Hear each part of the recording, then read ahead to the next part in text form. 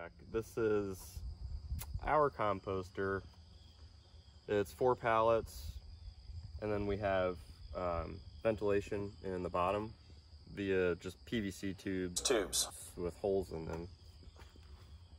I've recently have been looking into the Johnson Su bioreactor.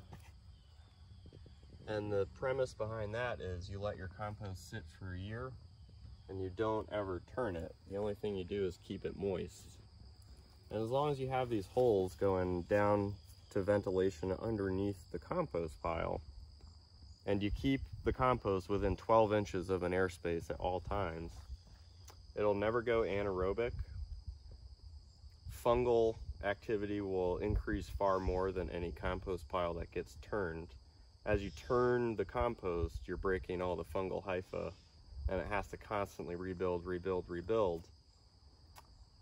And it's also compost you purchase has never been matured or cured properly.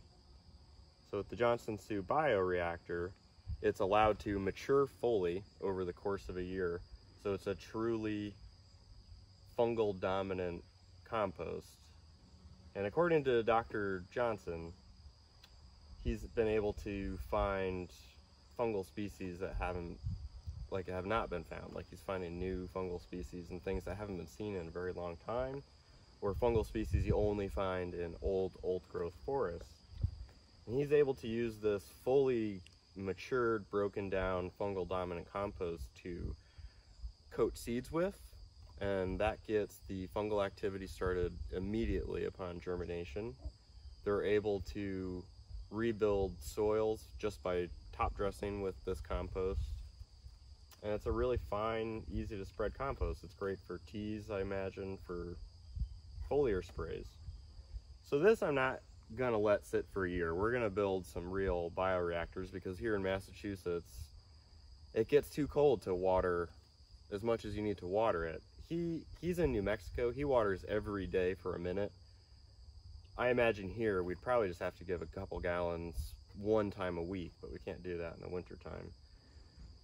So for these seasonal compost bins, we're still gonna have the holes in aeration because I love the idea of turning less, allowing more fungal activity to move in and keeping these air pockets going. I thought that the compost pile would cool down with not having the bulk and the insulation to break down.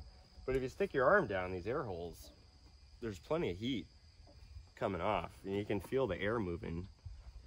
And this has been sitting here like this for a week now and it's still plenty hot. So I'm encouraged by this just initial experiment um, because I, I do get very concerned with big compost piles having anaerobic pockets.